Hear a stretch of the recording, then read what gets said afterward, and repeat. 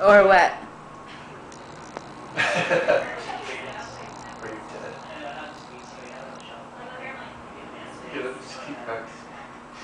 Does it have to go full revolution around? Well, alright, let's see.